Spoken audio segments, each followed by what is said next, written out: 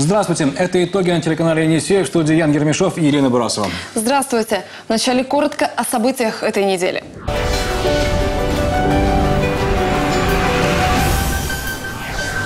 В Козульском районе массовое сокращение работников культуры. По данным профсоюзов, оптимизация затронула десятки человек. Почему местные власти решили сэкономить на культуре и что говорят в профильном министерстве? Режим неблагоприятных метеоусловий в Красноярске снят, но успел побить рекорд по длительности. Снова выручила ветреная погода, но где найти системные решения на будущее? Что показали проверки надзорных органов и что предлагают депутаты? В Красноярске пройдет концерт с ароматным шлейфом. Слушатели смогут не только послушать выступления музыкантов, но и получить флакончик с уникальным ароматом от французского парфюмера, созданный специально для концерта. Кто решил соединить музыку и аромат и когда пройдет выступление? Количество краевых чиновников уменьшится на 5%. Распоряжение о сокращении подписал на днях губернатор края Виктор Толоконский. Эта оптимизация затронет краевые министерства, агентства и службы администрации. Цель такой оптимизации – снизить расходы на управление. Напомню, кампания по сокращению правительственного аппарата продолжается в крае уже более полутора лет. Например, в 2014 году в регионе было сокращено 18% госслужащих. В ноябре прошлого года губернатор подписал указ об упразднении краевого казначейства. Там работало около 450 человек. Указ о новом сокращении чиновников должны выполнить до 1 апреля этого года. Сейчас в краевых министерствах и ведомствах идет работа над предложениями по оптимизации. А вот о муниципальных служащих в этом распоряжении не говорится. Хотя некоторые руководители на местах решили провести свою оптимизацию. Вот тут э, не обошлось без казусов. Так, например, в Козульском э, районе сокращение и урезание зарплат коснутся 70 работников культурных учреждений, библиотекарей, руководителей творческих коллективов. Такие данные приводят в Краевом профсоюзе работников культуры края. Правда, в районной администрации трагедии в сокращениях не видят и говорят лишь о семи специалистах, с которыми пришлось попрощаться в связи с экономией бюджета. Еще паре десятков человек урезали зарплату, но и это мера вынужденная, уверяют чиновники. Правда, с профильным министерством почему-то не посоветовались. При этом в небольших поселках и деревнях любая выставка – праздник, а библиотека – главный, а иногда и единственный досуговый центр. Почему в Козульке экономить решили именно на культуре? Разбираемся в нашем материале.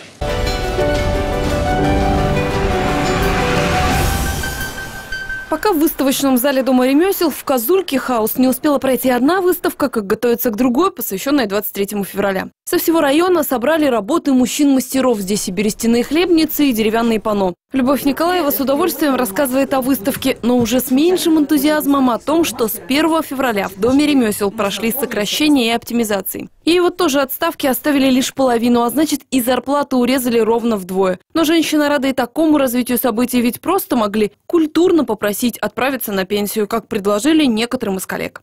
Факт печальный, конечно, поскольку прошлый год был годом культуры, да, и мы думаем, что все-таки культура – это неотъемлемая часть жизни человека, но вот лично меня тоже это коснулось. На пенсию отправили Елену Корнееву в Козульку. Она приехала из Красноярска, закончив отделение керамики в художественном институте. По сути, говорит женщина, с керамической студии начался дом ремесел, и она стояла у истоков его создания. Ее работы и работы ее учеников не раз брали награды на разных конкурсах. В планах было сделать еще несколько проектов, но теперь любимая керамическая студия стала чужой, а она сама оказалась ненужной. Сократили не только ее, но и отказались от ставки заведующего сектором народных ремесел работал? Я э, на сегодняшний день э, попала в списки сокращаемых э, специалистов.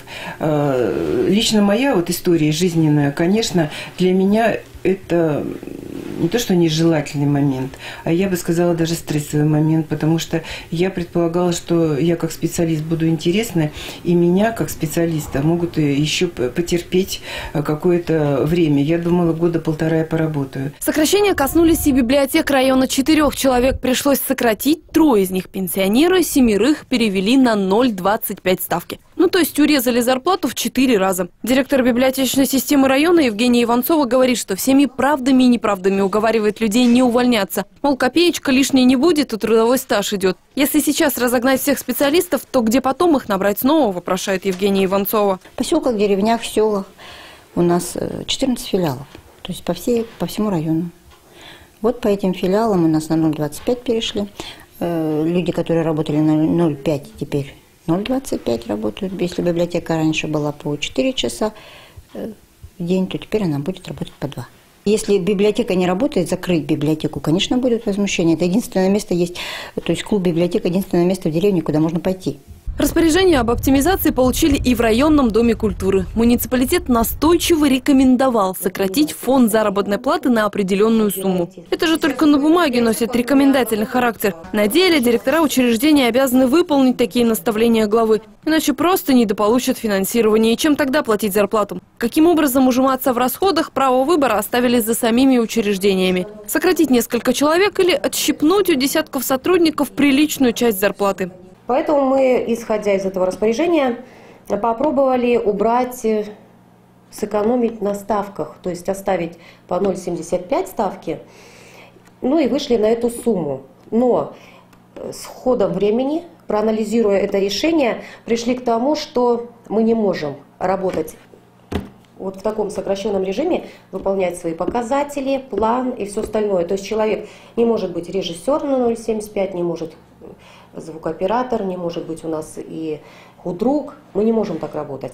И это личная гордость Ларисы Тихомировой. Она отстояла всех работников и их зарплату сделала то, что у остальных не получилось. В районной администрации говорят, что понимают, что решение об оптимизации, мягко сказать, непопулярное. Но у них просто нет денег, чтобы обеспечить всех зарплаты и сделать это в срок. Вот и приходится ужиматься. Они и сами сократили штат местных чиновников на 20% еще в прошлом году. Больше и увольнять-то некого. Тут уж не до культуры, когда висит огромный долг за коммунальные платежи, электричество и телефонную связь. Если перевести сокращение в цифры, то за счет зарплаты уволенных сотрудников за год сэкономят 5 миллионов рублей. Сократили людей сколько?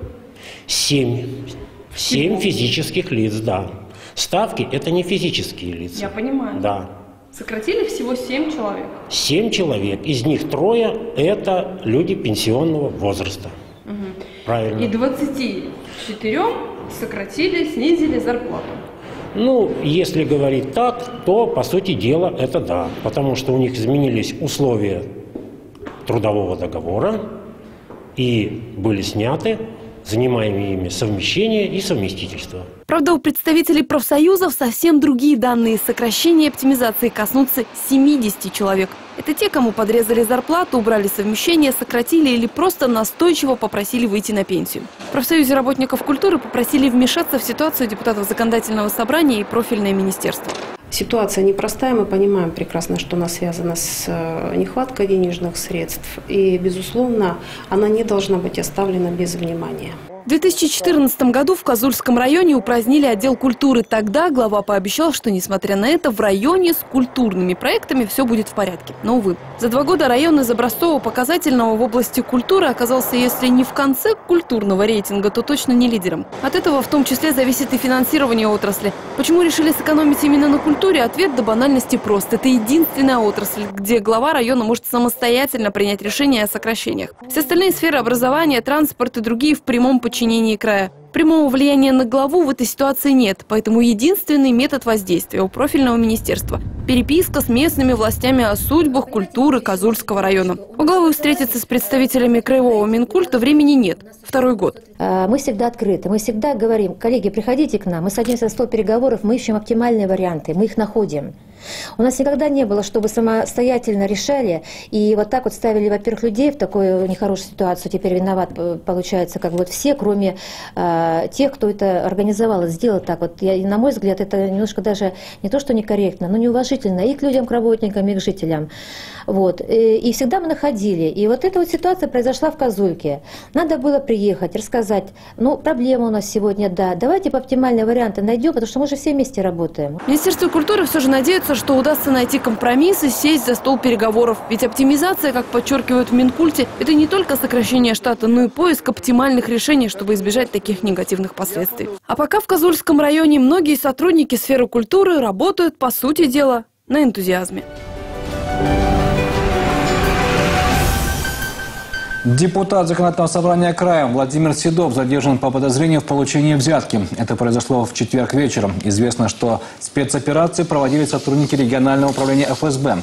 А, По пока не подтвержденной официальной информации наших источников, сумма взятки составила полтора миллиона рублей. Якобы деньги народному избраннику передали застройщики одного из пригородных коттеджных поселков за содействие в решении неких вопросов. Владимиру Седову 31 год. Он был избран в Краевой парламент по Ачинскому одномандатному округу номер 11. Входит в состав комитетов по госстроительству, местному самоуправлению и развитию институтов гражданского общества, а также по здравоохранению и социальной политике. Какие-либо комментарии в управлении ФСБ обещали дать завтра, в понедельник. А сразу после рекламы поговорим о здоровье. Что будет в крае с дешевыми российскими лекарствами, когда некоторые отечественные компании отказываются их производить? И надо ли бояться гриппа? Особое мнение эксперта мы вернемся после небольшой паузы.